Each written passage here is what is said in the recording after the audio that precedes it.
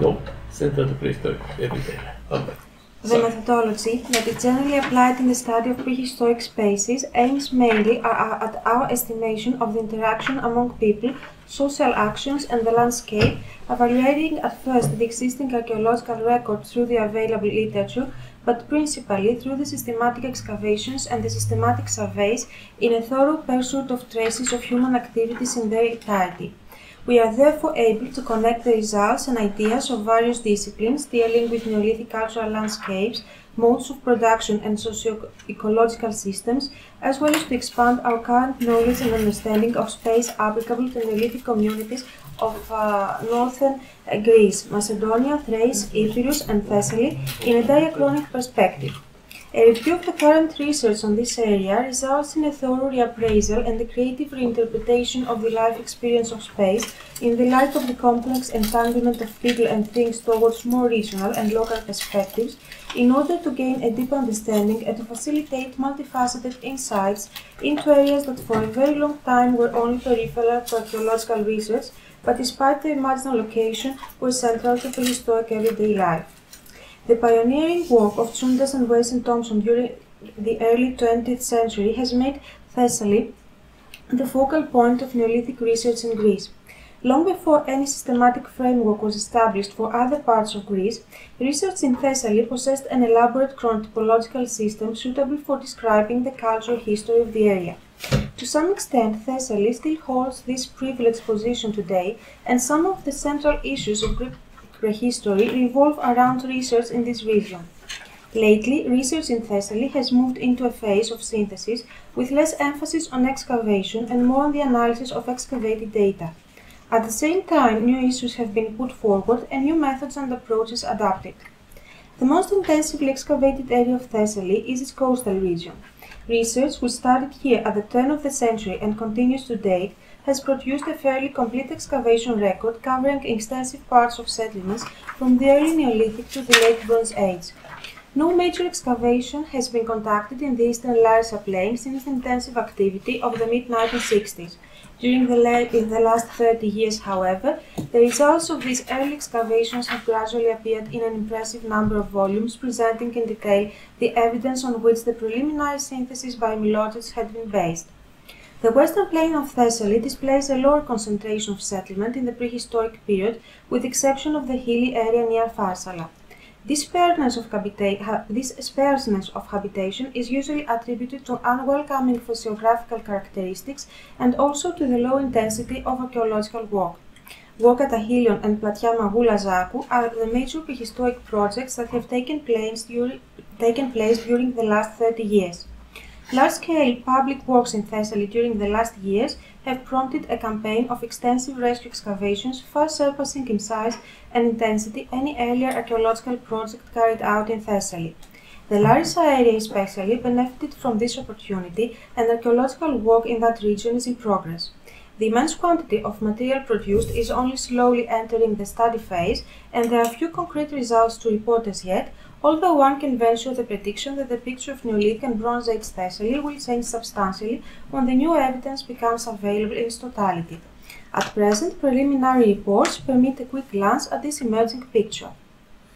Main excavations Gulf of Volos, Sesklo, Pyrgos, Dimini, Pefkakia, Petromagula, uh, Mandra.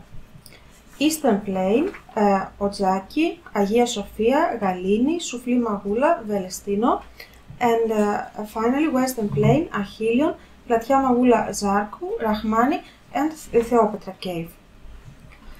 Already in the early 20th, uh, 20th century, uh, Macedonia came to occupy a peculiar place in the consciousness of prehistorians. It was considered a key province for the study of European prehistory, but also a backward area in itself, with a native tendency to, in, to isolation.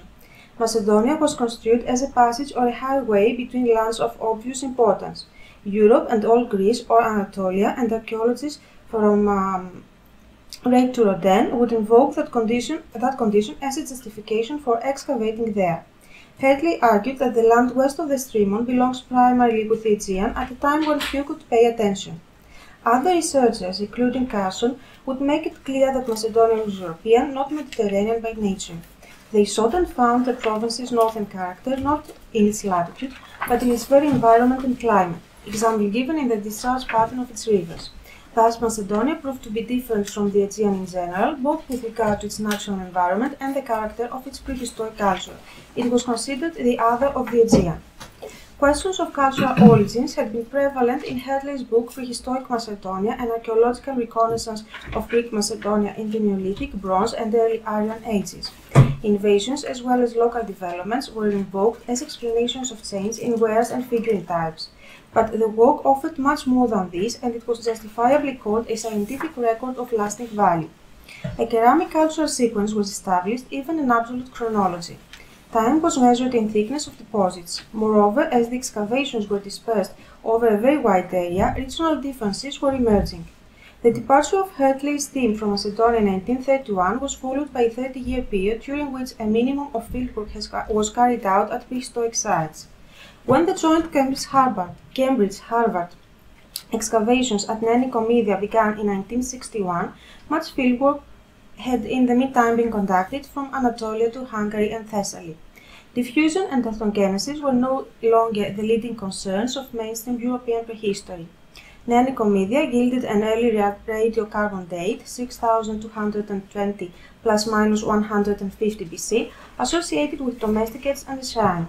It was then the site of the oldest dated Neolithic community yet found in Europe, making Macedonia an important link in the long chain of evolution of European society. Although the excitement was short-lived for many reasons, still the project at Nea marked the beginning of the modern phase of prehistoric research in Macedonia and beyond.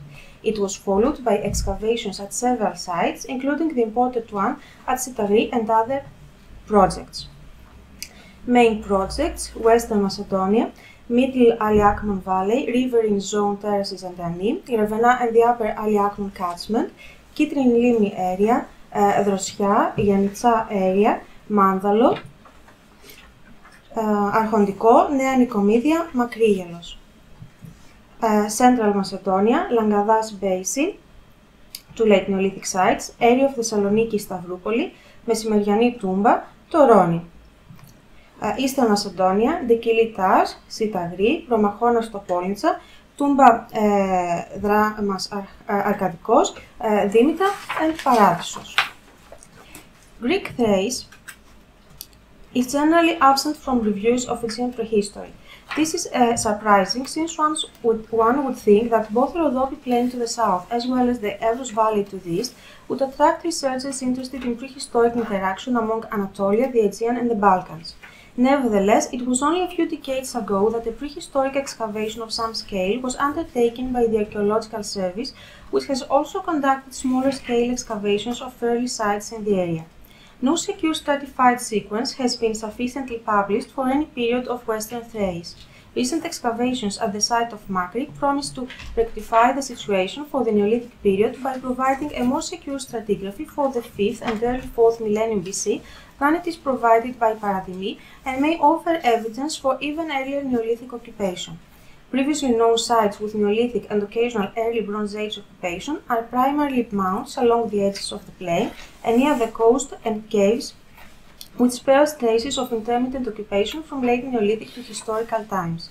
Only recently have less conspicuous sites, some in elevated areas, been discovered, indicating, at least for some periods, more varied patterns of habitation than were suspected in the past. Main projects, Paradimi, Proskinites, Makri. Epirus is mountainous, difficult to explore, and because of ubiquitous steep grades, its landscape is subject to intense erosion deposition. Fieldwork has been erratic. In view of these conditions, it is not surprising that few Neolithic sites are known in the province. It may in fact be more su uh, surprising that as many as 10 to 15 Neolithic sites are known. A few are caves that is relatively stable, protected microenvironments. Others, masked by recently deposited sediments, were discovered by chance during construction of soccer fields or drainage ditches. They would have been undetectable by conventional surface surveys, however intensive. Such facts underline the rarity of stable areas in the epirotic landscape where Neolithic settlements might be easy to come upon. Noteworthy, however, is the absence of Neolithic mound sites. That may suggest that settlements were relatively ephemeral, buildings were dispersed, limited use was made of earth materials for construction, and the population, population density was never very high. For Epirus, the problem seems to be far more basic and discomforting. A scarcity of field data. The underdevelopment of prehistoric research, a chronic condition, has stunted progress. The archaeological imagination has always been resourceful in Epirus. It is time, however, for intensive fieldwork. Taking, for instance, the prehistoric settlement of Makri on the coast of Aegean Thrace.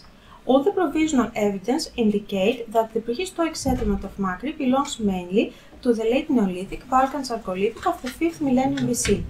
The excavation of the prehistoric mound of Makri, 10 kilometers west of the town of Alexandroupoli, has produced an excellent record of Neolithic occupation and revealed prehistoric deposits that were very rich in architectural remains and portable finds. Excavation there began in 1980s and has continued almost every year since then.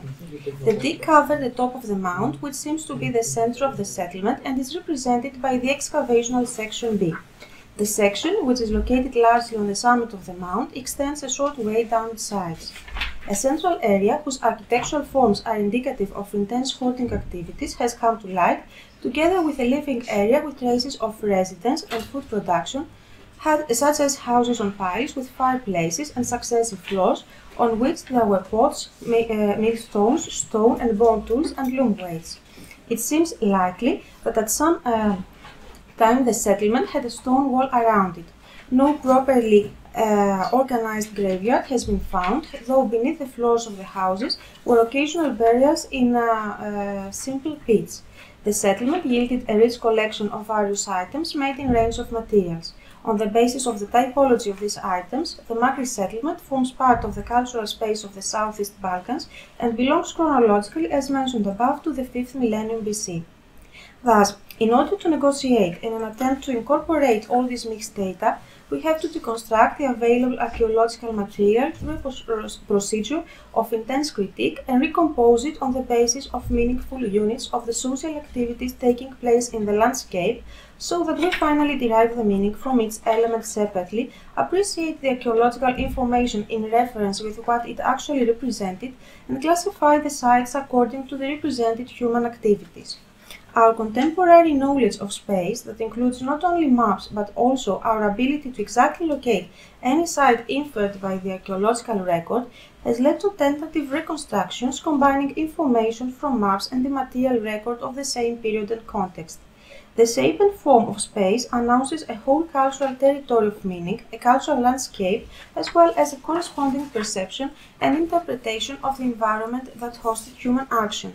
Regarding Neolithic northern Greece, both tells and flat extended sites, central as well as peripheral, estimated in their natural and human-made landscape context, offer us a vital research perspective in what concerns the perception of prehistoric space in its entirety.